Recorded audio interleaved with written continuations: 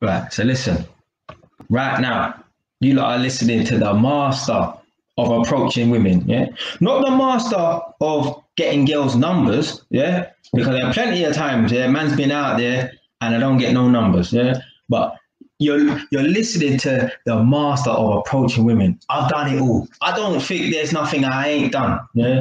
Apart from probably because I'm not a disrespectful man. So even if I see a guy with a bunch of girls, I don't approach. Yeah, I think it's quite disrespectful. Yeah, to even if I went on there on a humble thing, right, and said, "Yo, you know, like which one's not your girlfriend or which one's your girlfriend?" Because I want to speak to the other ones, whatever. In it, yeah.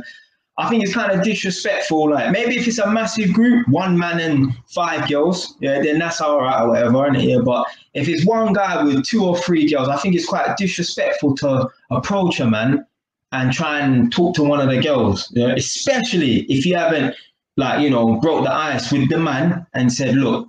Um, do you mind if I talk to one of the girls? I think it's disrespectful, whatever. And yeah, like I feel like if a man done that to me, a man's coming in my space, isn't it? Yeah. Now, there's a man that I've seen on the street before, and I know if I was to go over there and approach him, and he's with three or four girls, right? I know he ain't gonna say nothing in there. I can just tell by his weak body language that he ain't gonna say nothing. As long as I don't talk to his girlfriend, if any of them are his girlfriend, he's probably one of the fucking one of the bitches anyway, yeah. But I could tell even if I weren't gonna talk to his girlfriend, another girl, he won't challenge me or nothing like that. But me personally, I think it's kind of disrespectful to approach a man when he's with a bunch of girls and try and talk to the girl, especially if you don't go and you know break the ice with the guy and say, "Yo, do you mind if I chat to the girl or whatever?" And so I've done it all, done it all.